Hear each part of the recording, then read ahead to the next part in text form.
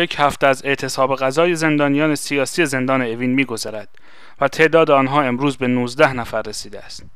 شنبه 28 خرداد 1390 دوازده زندانی بند 350 زندان اوین در اولین بیانیه خود هدفشان از اعتصاب را اعتراض به مرگ حالی صحابی و هدا صابر بیان کرده بودند و امید داشتند که این از خودگذشتگیشان باعث ایجاد تحرک و پویایی در جامعه شود. بعد از این اعتصاب غذا بود که گروه ها احزاب سیاسی اصناف فرهنگی و علمی دانشجویان و شخصیت های برجسته ایرانی و خارجی صدای آنها را شنیدند و هر یک به نوبه خود به دنبال انتشار اعتراض آنها برآمدند. دیگر کدام روزنه دیگر کدام صبح خواب بلند و تیره دریا را آشفته و عبوس تعبیر می این پیام برای همه مردم دنیاست من متاسفانه از اجرای عدالت در ایران ناامیدم.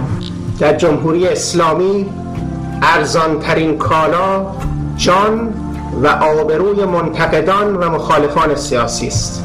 تنها چیزی که اهمیت نداره جان مردم. اصلا نمیگن چرا یک جان بیگناه به خاطر سهلنگاری یا حتی امن مأموران حکومتی از دست رفت. زندانیان سیاسی ایران جانشون در معرض خطره. شرایط نامساعدی بر زندانهای کشور حاکمه. در گام اول کمپین اعتراض سبز با راه اندازی تجمعی جهانی در سراسر دنیا و اعلام یک هفته روزه سیاسی سعی کرد نگاه ایرانیان خارج از کشور و جامعه جهانی را به این ظلم بیپایان در ایران جلب کند.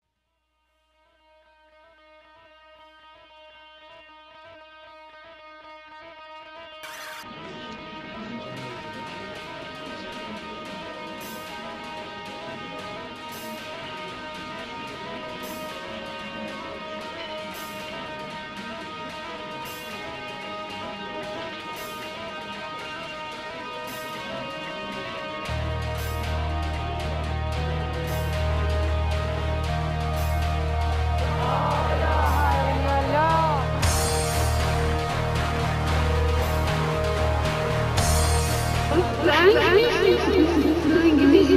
you.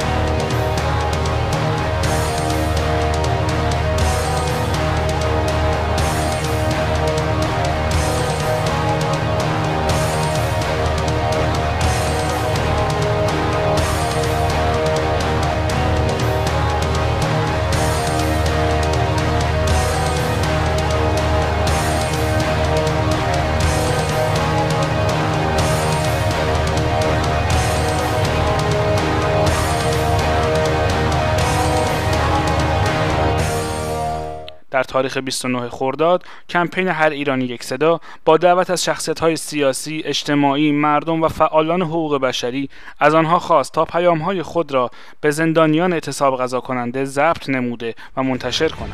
من تصور نمی کنم اونها امیدی به تغییر روش حکومت داشته باشند.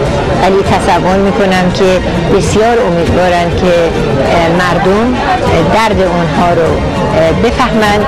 ایشانند. معالم دین ما و شاهدان ستم جباران ولایی روز سوم این اعتصاب غذا همراه بود با انتقاد آیت الله بیات از شرایط جاری کشور.